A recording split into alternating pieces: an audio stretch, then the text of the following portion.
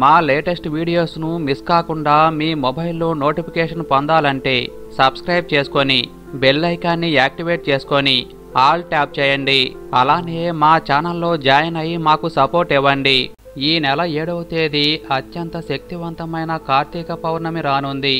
అందున ఈ కార్తీక పౌర్ణమి కార్తీక సోమవారం రోజు వస్తుంది.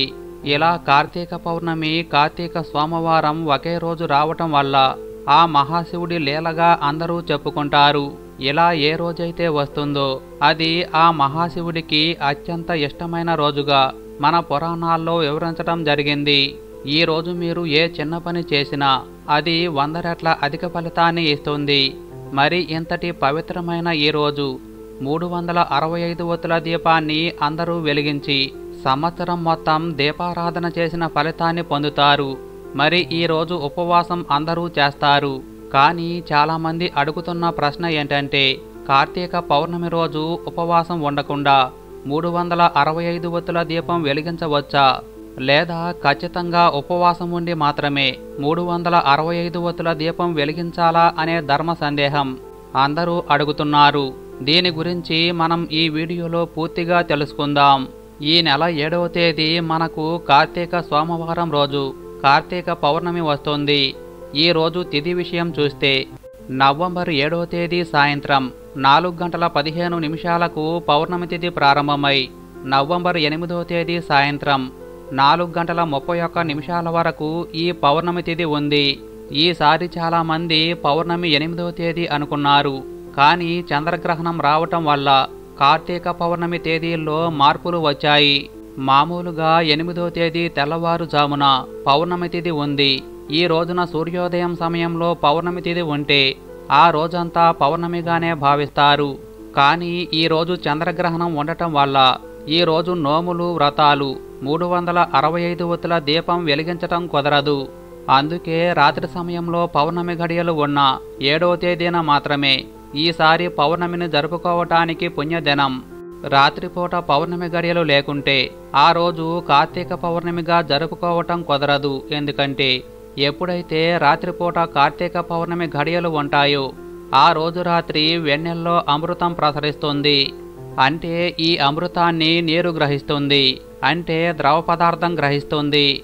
అందుకే మన పూర్వీకులు కార్తీక పౌర్ణమి రోజు రాత్రి సమయంలో వెన్నెల సమయంలో చాలాసేపు ఉండేవారు.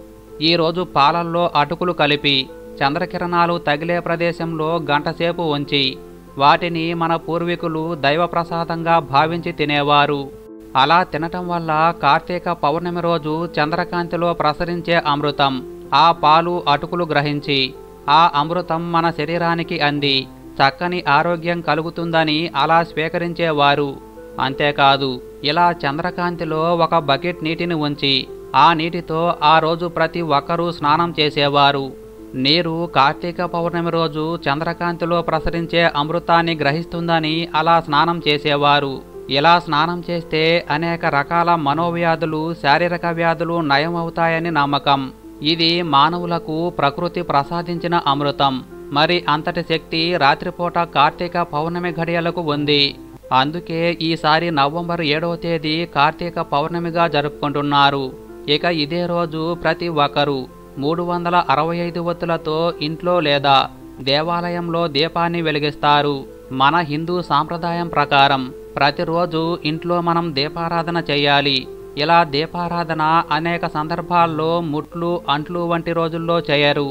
అప్పుడు సంవత్సరం మొత్తం దీపారాధన వ్రతభంగం అవుతుంది అందుకే ఈ ఒక్క కార్తీక పౌర్ణమి రోజు మూడు వందల అరవై ఐదు ఒత్తుల దీపాన్ని ఎవరైతే భక్తి శ్రద్ధలతో విధిపూర్వకంగా వెలిగిస్తారు. వారికి మూడు వందల అరవై ఐదు వత్తుల దీపాన్ని వెలిగించిన ఫలితం కలుగుతుంది. ఇక చాలామంది ఇంట్లో ఎంతమంది ఉంటే అంతమంది మూడు వందల అరవై ఐదు వత్తుల దీపాలని వెలిగిస్తారు.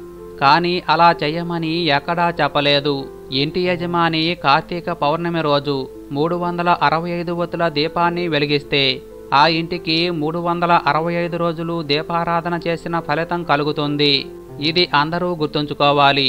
చాలామందికి ఇది తెలియక ఇంట్లో ఎంతమంది ఉంటే అన్ని మూడు వందల అరవై ఐదు ఒత్తుల దీపాలు వెలిగిస్తారు. ఇంటి యజమాని మాత్రం వెలిగిస్తే సరిపోతుంది.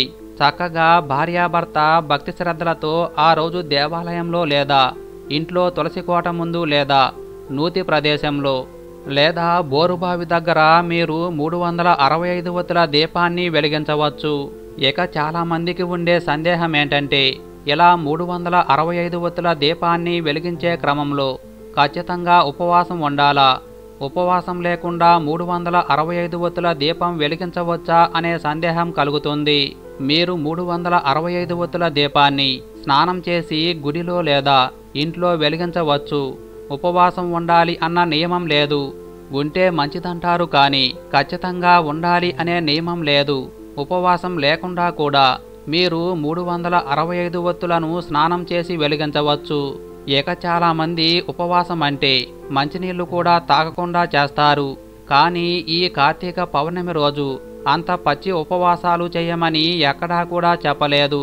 అంత కఠిన ఉపవాసాలు మన ఆరోగ్యానికి మంచిది కాదని గ్రహించిన మన మహర్షులు నెలలో కేవలం ఒక్క ఏకాదశి రోజు మాత్రమే ఉపవాసం చెయ్యాలని పెట్టి మిగిలిన రోజుల్లో నక్త ఉపవాసాలు లేదా ఇతర దానాలు చేయాలని సూచించారు. కార్తీక పౌర్ణమి రోజు మీరు ఉపవాసం ఉన్నా కూడా కఠిన ఉపవాసం ఉండాల్సిన అవసరం లేదు. చక్కగా ఉదయం బ్రాహ్మి ముహూర్తంలో నిద్రలేచి తలస్నానం చేసి కార్తీక దీపాలు వెలిగించాలి. తరువాత తూర్పు వైపు కృత్తికా నక్షత్రాలను చూసి నమస్కరించుకోవాలి. తరువాత ఉపవాసం స్వీకరించి పాలు పండ్లు లాంటివి తినండి. మధ్య మధ్యలో పండ్ల రసాలు తాగండి. మధ్యలో అల్పాహారం కూడా తినొచ్చు. ఇక నక్షత్ర దర్శనం తరువాత దైవానికి పూజ చేసి మూడు వందల అరవై ఐదు వత్తుల దీపాన్ని వెలిగించండి. అంతేకాని కఠిన ఉపవాసాలు చెయ్యాలి అన్న నియమం లేదు. పండ్లు ద్రవ పదార్థాలు మీరు యథావిధిగా తినొచ్చు. అలానే త్రాగవచ్చు. పాలు కూడా తాగవచ్చు. అలానే ఇలా ఉపవాసం ఉండలేని వారు స్నానమాచరించి యథావిధిగా మూడు వందల అరవై ఐదు వత్తుల దీపాన్ని వెలిగించవచ్చు. కాబట్టి కార్తీక పౌర్ణమి రోజు మీరు మూడు వందల అరవై ఐదు వత్తుల దీపం వెలిగించాలంటే ఖచ్చితంగా ఉపవాసం ఉండాలి అన్న నియమం మాత్రం లేదు. మీరు చక్కగా స్నానం చేసి మూడు వందల అరవై ఐదు వత్తుల దీపాన్ని నిరభ్యంతరంగా వెలిగించవచ్చు. ఇక స్నానం మాత్రం నవంబర్ ఎనిమిదవ తేదీ తెల్లవారుజామున ఆచరించాలి. తులారాశి సమయంలో అంటే తెల్లవారుజామున నాలుగు గంటల ముప్పై నిమిషాల నుండి ఏడు గంటలలోపు కార్తీక పౌర్ణమి స్నానం చేయాలి. దీపాలు మాత్రం నక్షత్రాలు ఉన్న సమయంలోనే వెలిగించాలి. ఆ సమయంలోనే కృత్తికా నక్షత్రాలను దర్శించి నమస్కరించుకోవాలి.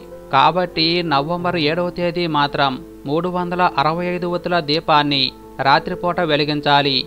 చక్కగా ఆ రోజు కార్తీక సోమవారం రావటం వల్ల ఉదయం నుండే పూజలు చేసుకోవచ్చు. యథావిధిగా పూజలు చేసుకొని రాత్రి మూడు వందల అరవై ఐదు ఒత్తుల దీపాన్ని వెలిగించాలి. ఈ ఒక్క రోజు ఉపవాసం కానీ పూజలు కానీ చేస్తే కార్తీక పౌర్ణమికి కార్తీక సోమవారానికి రెండు రోజుల ఫలితాన్ని మీరు పొందుతారు.